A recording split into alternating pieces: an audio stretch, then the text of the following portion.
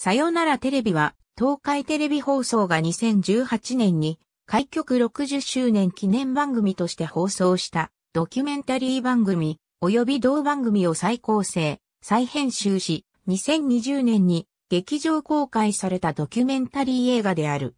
本校では便宜上、2018年にテレビ放映された分を放送版、2020年に劇場公開された分を劇場版と表記する。2016年のある日の東海テレビ報道フロア。ディレクターの方がテレビの今の企画書を配り、マイクを机に据え付けカメラを回し始めた。デスクたちは困惑し、取材は拒絶された。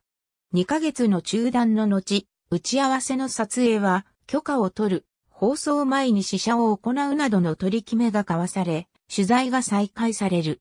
ベテラン記者の沢村慎太郎は企業やスポンサーからの要望で放送される、ぜひネタを扱っていた。経済誌出身だし、抵抗はないですと苦笑い。高層マンション建設反対を主張していた男性が、現場監督とトラブルになり逮捕された事件を取材する中、これは共謀罪に関わる問題であり、権力を監視することが役割の一つである、マスメディアにとって重要な話であると捉えた。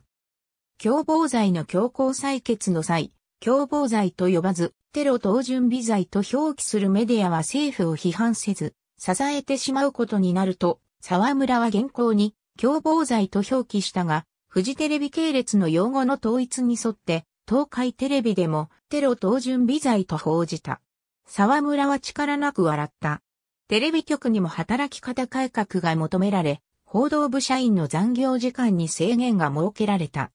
人員を補充するために制作会社から渡辺正幸が派遣されたが、他局での実務経験はあるもののその仕事ぶりはおぼつかない。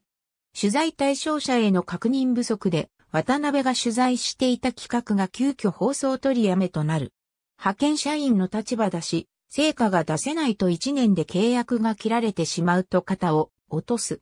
アナウンサーの福島智之は、夕方のニュースショー、みんなのニュースワンのメイン司会者に抜擢された。2011年8月にローカルワイド番組、ピーカン、テレビで不適切テロップ問題が起き、司会を務めていた福島は矢面に立たされた経験がある。東海テレビではそれ以降毎年8月4日に放送倫理を考える全社集会を行っている。全社集会からのキロ、ガタからのインタビューに対し福島は報道に向き合う上での苦悩を語る。春。福島はみんなのニュースワンの司会から降板し、渡辺も東海テレビからの卒業が決まった。取材最終日、沢村はガタに問いかける。現実って何でしょうね。このドキュメンタリーにとって制作は1年7ヶ月の長期間に及んだ。